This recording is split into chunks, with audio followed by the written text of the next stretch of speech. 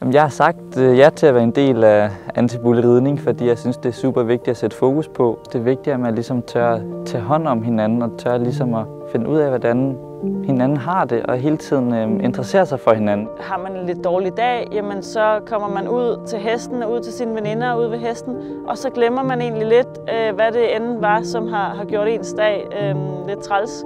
For mig betød det rigtig meget at kunne være en del af det, for jeg var aldrig den skarpeste kniv i skuffen, da jeg gik i skole og sådan noget. Men netop det at komme en del af det her fællesskab og kunne udvikle mig som person, har nu gjort, at jeg er gået hen og fået nogle super gode karakterer i skole og sådan noget ting. Så det her fællesskab kan så meget mere. Jeg kom meget tidligt øh, til at ride en masse stævner, kom ud til nogle store stævner, hvor jeg kunne se, at der var nogle, nogle rigtig dygtige mennesker, som jeg så op til. Og der synes jeg, det var, det var svært sådan at føle sig som en del af fællesskabet. Det var en svær periode. Så, øh, så møder man jo nogle mennesker, som ligesom griber en lidt og tager fat i en og, og tager med en med ind i fællesskabet.